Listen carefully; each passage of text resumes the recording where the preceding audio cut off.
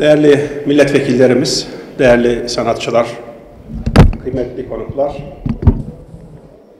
şanlı tarihimize ve milli şairimiz Mehmet Akif'e sevgimizin, vefamızın ve yüksek hürmetimizin bir ifadesi olarak Türkiye Büyük Millet Meclisi tarafından 2021 yılının İstiklal Marşı yılı olarak kabul edilmesinin haklı, şerefi ve mutluluğuyla sizleri selamlıyorum. Hoş geldiniz. Kıymetli misafirler, İstiklal kelimesi Arapça kal kökünden gelmekte, yüklenip götürmek anlamına gelmektedir. Bağımsızlık olarak ifade ettiğimiz istiklal, sözlüklere bakıldığında maddi veya manevi bakımdan kimseye bağlı ve tabi olmama, kimsenin buyruğu altında bulunmama anlamına gelmektedir. Milli mücadele günlerinde milletimiz istiklali kelimenin tam manasıyla yüklenip omzuna harf harf yaşamış, taşımış, canlarıyla, mallarıyla Kurtuluş Destanı'nı yazmıştır. Kurtuluş Savaşı'na, milli mücadelemize, İstiklal Savaşı denmesinin altında yatan gerçek, Doğu'da Ermenistan çetelerine, Batı'da itilaf devletlerinin harekete geçirdiği Yunan milislerine, askerlerine, güneyde Fransız ordusuna karşı girişilen işte bu bağımsızlık mücadelesi sebebiyledir. Elbette bu bağımsızlık mücadelesi için yazılan marş da İstiklal adını taşımaktadır. Kendisi bizzat şahit olarak o zor günleri kaleme alan Mehmet Akif, sanki kendisinden sonraki nesiller içinde o günlerin yapılabilecek en iyi tasvirini yapmıştır. Mehmet Akif, Türkçeyi iyi kullanarak insanları etkileyebilen bir hatip, kalemini etkili kullanan nadide ediplerimizdendir. Mehmet Akif dilin bütün inceliklerine hakim, büyük bir mütefekkirdi aynı zamanda. Onun destekleriyle yayın hayatına başlayan Sebilur Reşad'ın üzerinden bir asırdan fazla bir zaman geçmiştir.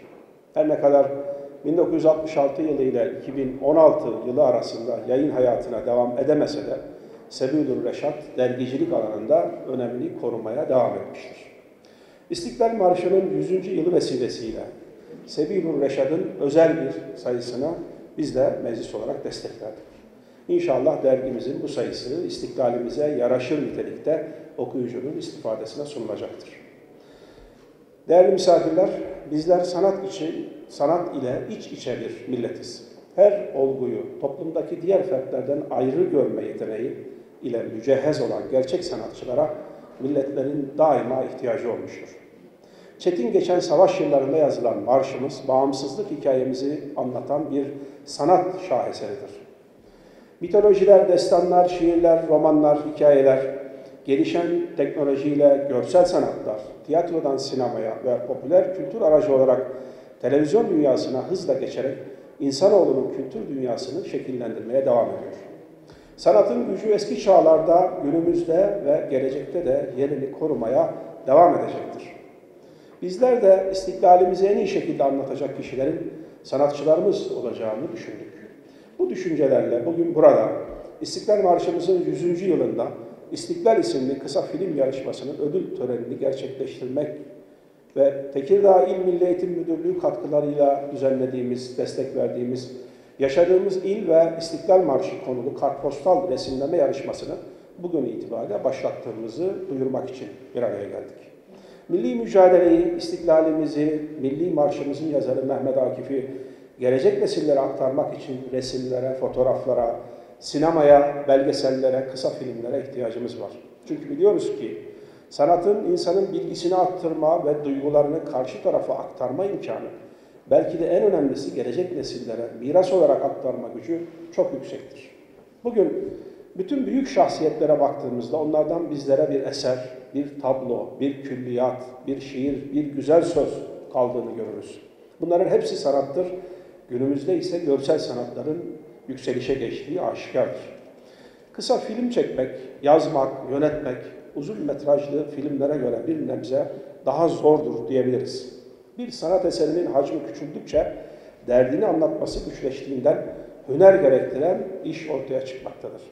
Derinlik ve detayı aktarmak istediğiniz mesajı kısa ve vurucu, yüksek sesle vermek kolay değildir. Kıymetli misafirler, Bugün burada istiklalimizi sanat vasıtasıyla anlatan ve dereceye girenlerin ödüllerini vermekten büyük memnuniyet duyacağız. İstiklal Marşı yılı vesilesiyle İstiklal Savaşımızı, marşımızı, milli şairimizi hayatımızın ve sanatımızın merkezine almanın ehemmiyetine samimiyetle inanıyorum. Türkçemizin ses ve sanat bayrağını devralmaya, onurlu davasını sürdürmeye çalışan kıymetli sanatçılarımızı da kutluyorum. Yönetmeninden senaristine, oyuncusundan ışıkçısına kadar bu yapımlarda emeği geçenlere şükranlarımı sunuyorum. Aynı zamanda İstiklal Kısa Film Yarışması'na katılan bütün sanatseverlere kendilerini tanıtma, geliştirme ve ifade etme yolunda yeni kapılar açılmasını temenni ediyorum. Asım'ın nesli olarak bugün hayatın ve sanatın her alanında İstiklal şairimizin ideallerini gerçekleştirmeye çalışmanın gayreti içinde olanlara Cenab-ı Hak hizmetlerini daim kılsın, gayretlerini, kaim, emeklerini makbul eylesin. Birazdan meclis himayesinde ve Sebilü Reşat Derneği'nin katkılarıyla gerçekleştirdiğimiz yarışmamızda kazananların ödüllerini takdim edeceğiz. Abileşen sanatçılarımızı, mütefekkirlerimizi, sanatın güzellikleriyle taşlandıranlara ve destek verenlere tekrar teşekkür ediyorum. Ödül kazanan sanatçılarımıza ödülleriyle katkı sunan Sultanbeyli ve Sincan belediyelerimize teşekkür ediyorum. Bu bilinç ve inançla İstiklal Marşımızın kabulünün 100. yılını tekrar kutluyor. Ebediyete kadar dillerdeki ve gönüllerdeki varlığını koruyacağına olan inancımı bir daha ifade etmek istiyorum. İstiklal Marşımızı memleketimizin her okulunda, her resmi töreninde, bu milletin genci, yaşlısı, kadını ve erkeğiyle hep birlikte yürekten ve coşkuyla ilelebet okumaya devam edeceğiz. Akif'in duasıyla bitirelim. Allah bir daha bu millete İstiklal Marşı yazdırmasın. Allah'a emanet olun.